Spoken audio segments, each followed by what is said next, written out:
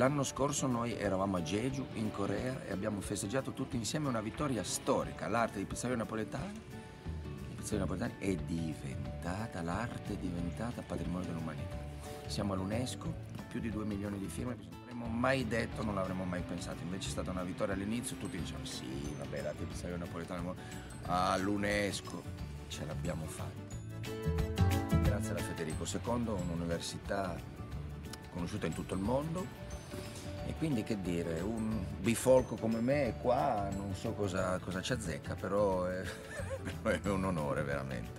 Viva la Federico II. Qui ho visto delle stanze che veramente respiri un'aria, si ritorna indietro nel tempo, è qualcosa. Noi abbiamo, abbiamo delle strutture, abbiamo delle università in Italia che sono bellissime, probabilmente non sappiamo valorizzare. Dovremmo veramente metterci una mano sulla coscienza e dire le cose più belle del mondo sono in Italia in questo momento, a Napoli. Viva la Federico II. Ciao!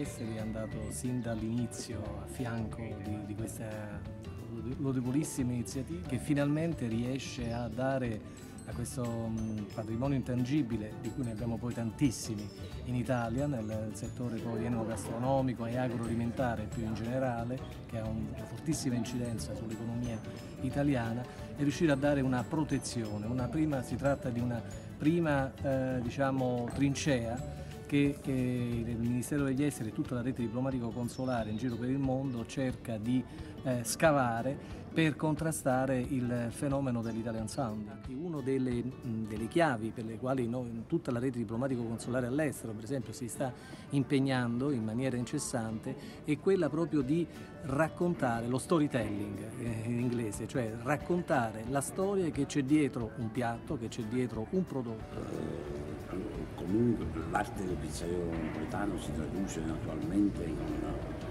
i gesti, la manovalanza e, e l'esperienza di un vecchio pizzaiolo che poi dovrebbe trasmettere al, al giovane pizzaiolo. Questa è la cosa importantissima.